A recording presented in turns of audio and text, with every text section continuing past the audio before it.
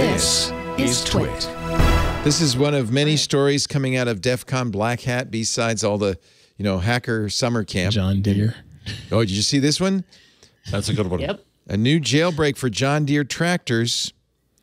I put up a um, Cory Doctorow uh, thread on watching it happen. Yeah, Corey was in the audience. So, uh, an Yeah. Australian hacker named Sick Codes actually was able to break into the tractor programming interfaces on a John Deere tractor. He's actually an Australian, there lives in. Asia. Um,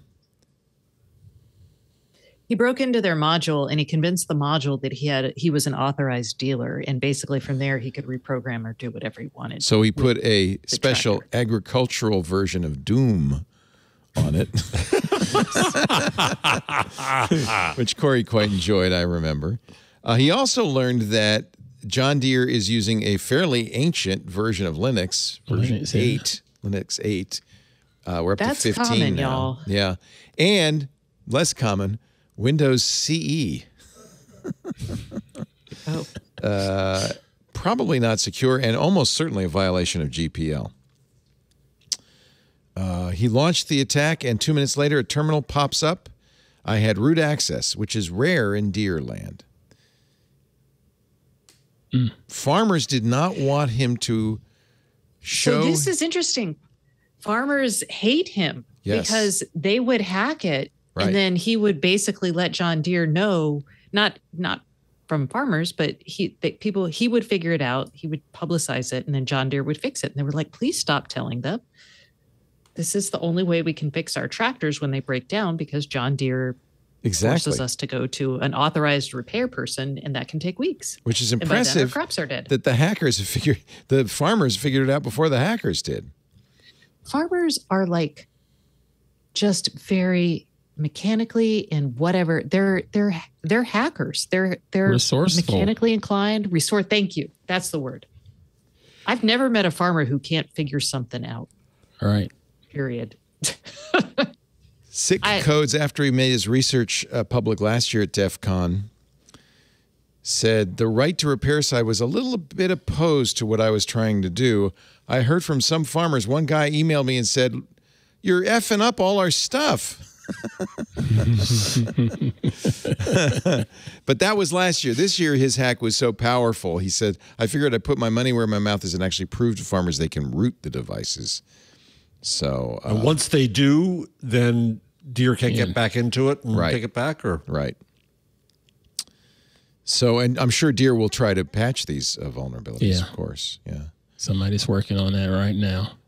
Um, did have they talked about this on Floss Weekly? Um, at all? Actually, we did, sir. Um, Mr. Jonathan Bennett, our Untitled Linux show host in Club Twit, he's apparently um, knows sick codes quite well and and got a lot of joy out of this. And today's guest, Dave Taht, uh, was pretty much up in arms because of the version of Linux that's being used. oh yeah, and, and and because how they're not violating the Right. GPL. they're not adhering to the license. Um, good. Try to get sick codes on the show. That would be really cool. I'm What's John- also I shall interesting in the Corey Corey thread is that when he put it back on, it tried to send 1.5 gigabytes of data up to Deere. oh yeah.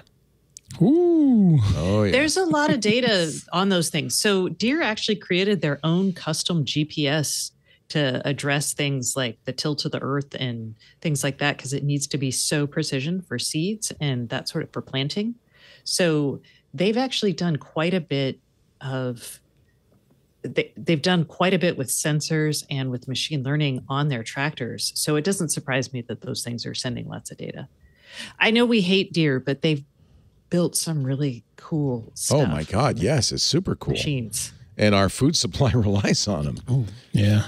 That's a, a little less cool. So Corey says he discovered that all it took to convince the computer that he was a dealer was to create an empty text file on its hard drive whose file name was something like imdealer.txt.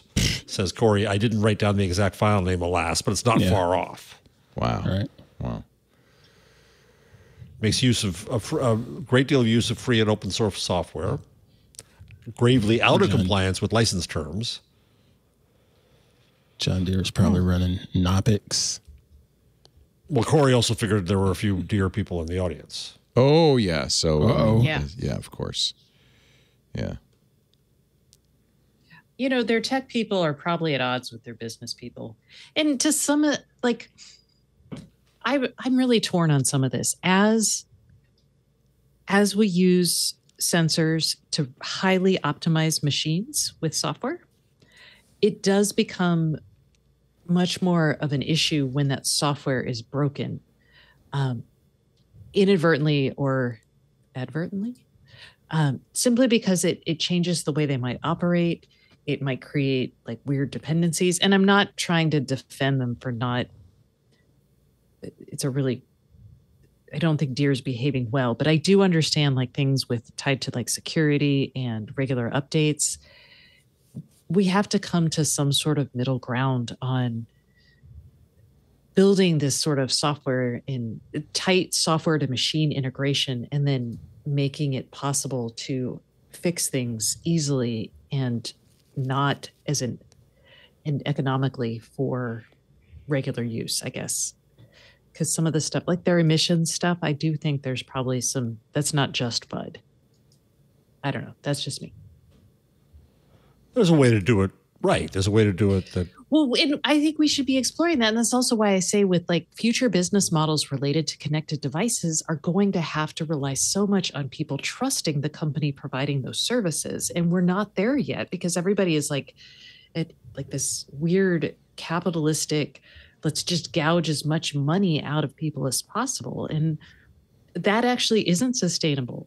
And we're going to turn our backs on some really good technology because we understand that it's going to actively be used against us. And it's a shame, but I get it. Um, yeah, read uh, um Corey's full uh, post on pluralistic about this, and he makes a very strong case about Yeah. uh, why what John Deere's doing is so very, very wrong, and basically monopolistic. You know, It is. yeah. Uh, Corey's new book, Choke, Choke Point Capitalism How Big Tech and Big Content Captured Creative Labor Markets and How We'll Win Them Back. I'm going to get Corey. crowdfunding now by you. Yeah, isn't that great? Kickstarted. Yeah. Uh, we're going to get, uh, I'm going to try to get Corey on uh, to talk about that because you have uh, a little bit more time, I think, on the Kickstarter. Uh, and I'd love to give Yeah, they've some- already met their goals. Yeah, but they should meet their goals and then some. Oh, yeah, yeah. No, the more people who can access this book, the better. Yeah. Choke Point Capitalism.